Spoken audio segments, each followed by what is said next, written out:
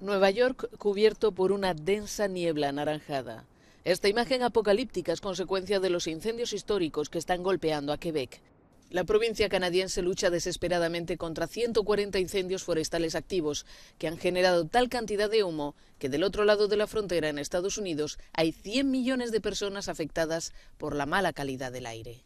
La alerta por contaminación atmosférica se extiende por todo el noreste de Estados Unidos. En Nueva York, la falta de visibilidad también obligó a suspender algunos vuelos en el aeropuerto de La Guardia.